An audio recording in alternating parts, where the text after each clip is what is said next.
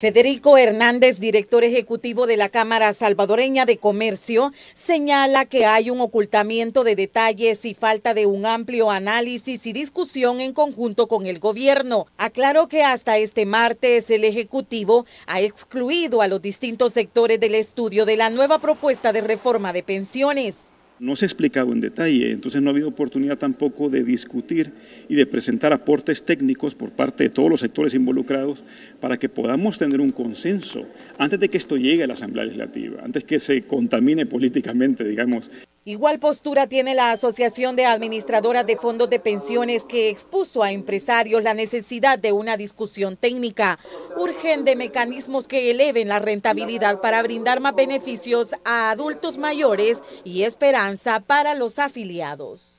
Y lo que tiene un mayor impacto en las pensiones de los trabajadores es la capacidad de generar rentabilidad.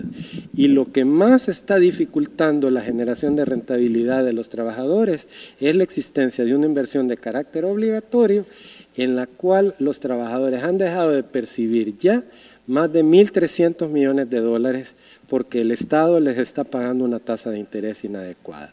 Asafondo subraya que la tasa de interés del 1.3% que el gobierno le paga por la emisión de deuda no contribuye a la generación de utilidades. Agregan que desde 2006 el Estado cancela pensiones con dinero de los afiliados a las AFPs. Entonces, ¿qué se tiene que hacer? Bueno, las acciones que hemos planteado acá. Modificar esa tasa de interés y permitir que el resto del dinero se invierta en otro tipo de instrumentos que le generen más rentabilidad al afiliado de forma tal de que aseguremos como meta ideal de que las personas con nuestro propio dinero nos podamos autofinanciar pensiones que anden entre el 60 y el 70% del salario como un objetivo válido. Tanto la Cámara Salvadoreña de Comercio como Asafondo llaman al gobierno a reflexionar para obtener una reforma de pensiones acorde a las necesidades y beneficios tanto del adulto mayor como de los afiliados. Con imágenes de Ricardo Tobar, Claudia Cuchco.